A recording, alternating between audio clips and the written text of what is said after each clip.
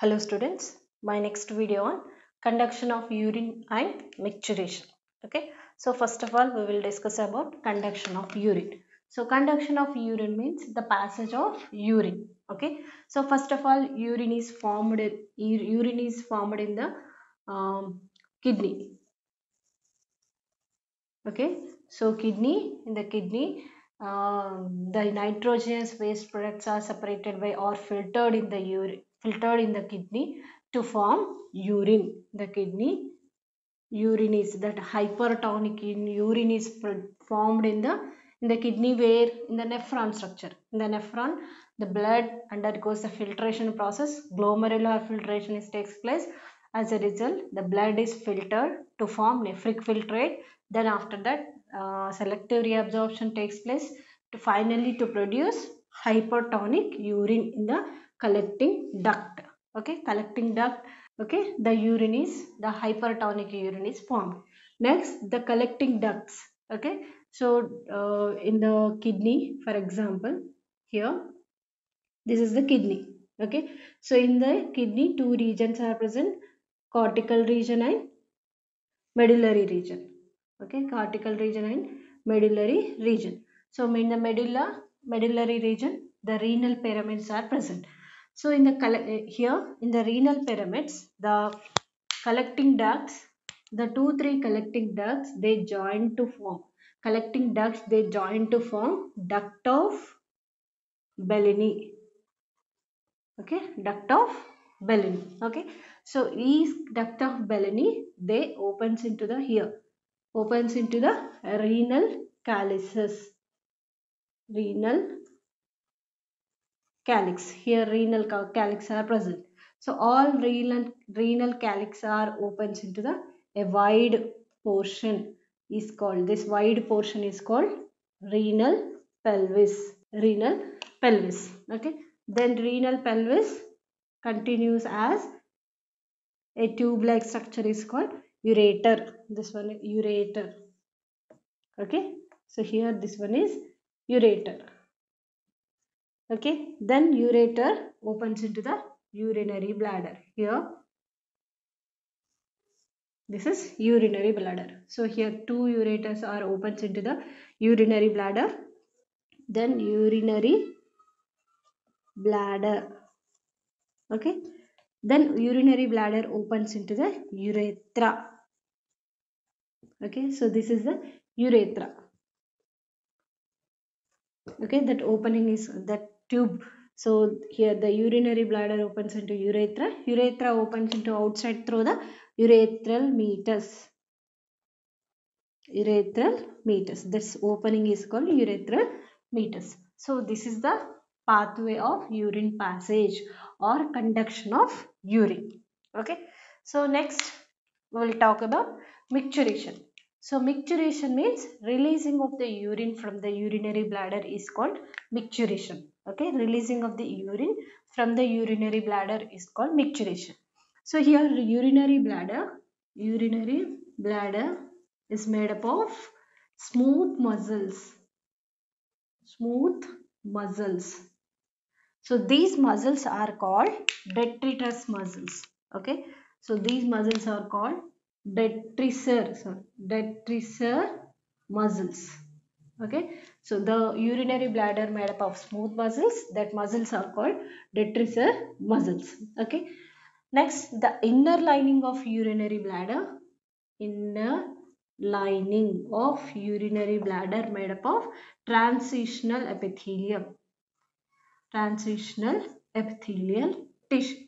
Okay? So urinary bladder is a bag like structure. It helps to helps in the storage of urine.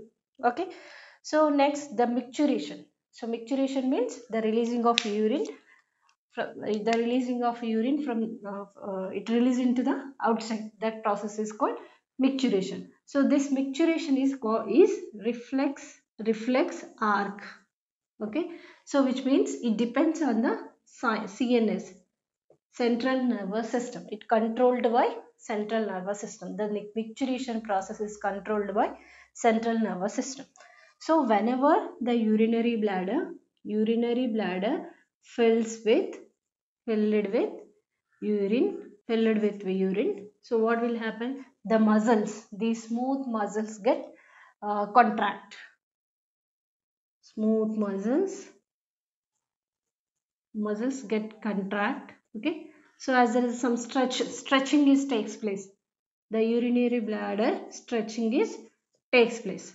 So that due to that stretching stretchings that signals pass to the cns signals pass to the cns so when the urinary bladder some stretching some uh, uh, changes some con uh, contraction is takes place stretching is takes place that information that signals pass to the cns so in the cns that information is um, uh, analyzed in the cns so again that um, signals pass to the urinary here urethra the signals are passed to the urethra through the cns the signals through the central nervous system the signals pass to the urethra next urethra is made up of two sphincters.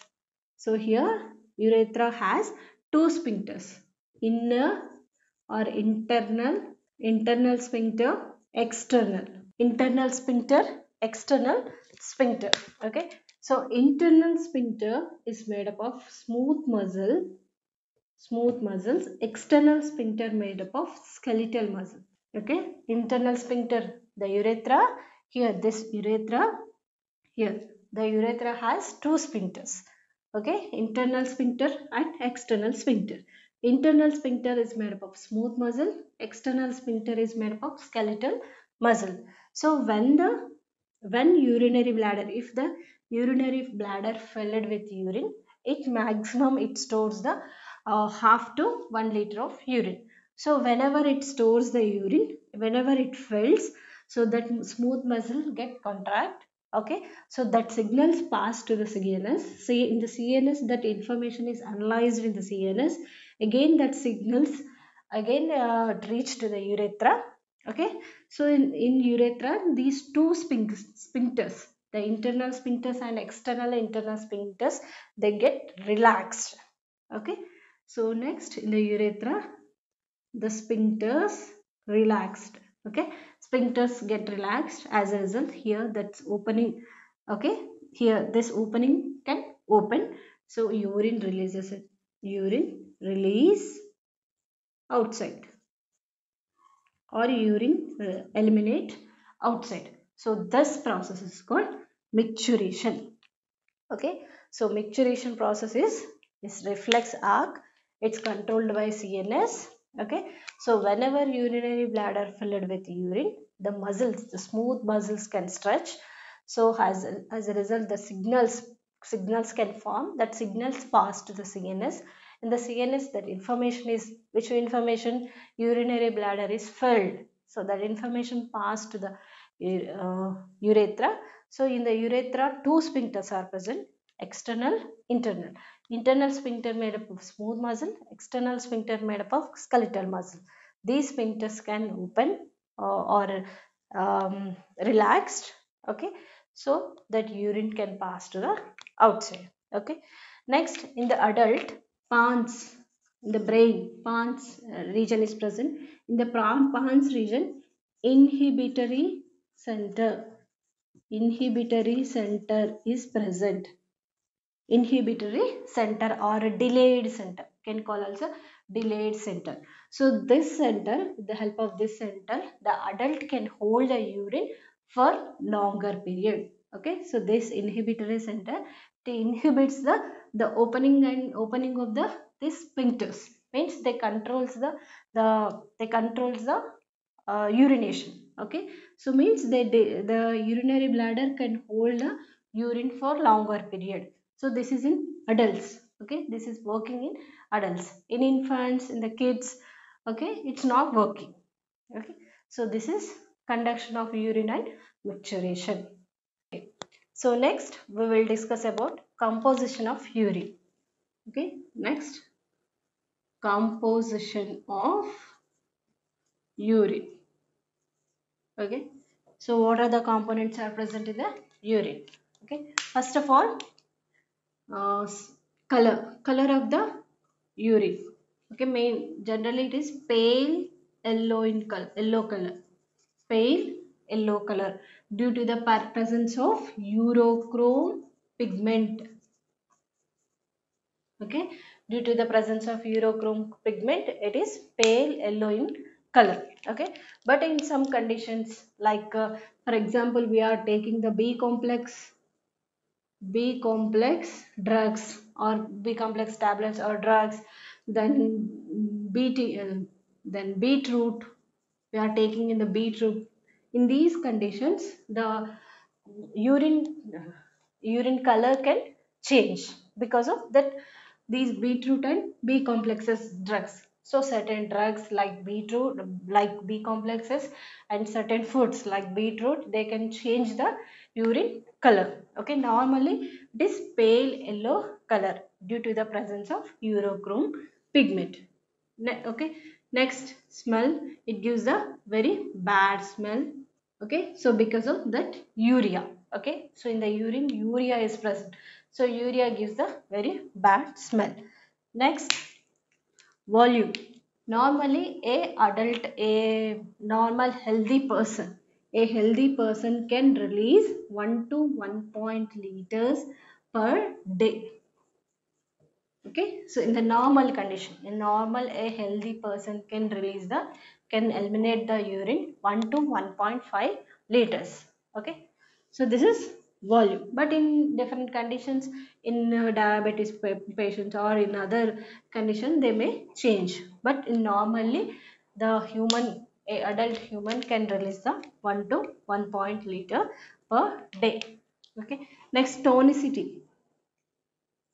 Tonicity means concentrate concentration. It is hypertonic hypertonic urine the concentration is high concentrated urine is produced in mammals or human being. So high concentrated urine. So that's why that is called hypertonic urine. Okay. Next. Um, composition of urine. Chemical composition of urine. Chemical composition of of urine. So chemical composition of urine. Next we will discuss about chemical composition. So in the urine 96% uh, of water is present. Okay? Already maximum amount of water is reabsorbed but again in the urine 96% of water is present. Next 2% 2% urea okay? 2% other substances okay? 2% of urea 2% of other substances are present in this 2% of urea, generally 25 to 30 grams of urea. 20 okay? 25 to 30 grams of urea can excrete per day. Okay? A healthy person can excrete 25 to 30 grams per 30 grams urea per day. Next other substances. Different types of the other substances are present. They are uh, hippuric acid. Hippuric acid. Next um, phosphates oxalates oxalates and creatinine creatinine. So these are the other substances are present in the urine. Okay? So this is about composition of urine. So urine generally pale color pale yellow in color. It gives the very bad smell Next, a healthy person can excrete the 1 to 1.5 liters per day. Next, the hypertonic urine is produced produced in mammals, in human being also. Next, chemical composition, 96% of water is present, 2% of urea, 2% of other substances are present. So, in this 2% generally per day, per day, so a, a healthy person can excrete the 25 to 30 grams urea per day. Okay? Next what are the other substances? So other substances um, other substances means like hippuric acid phosphates oxalate and creatinine. These are the other substances. So these components are present in the urine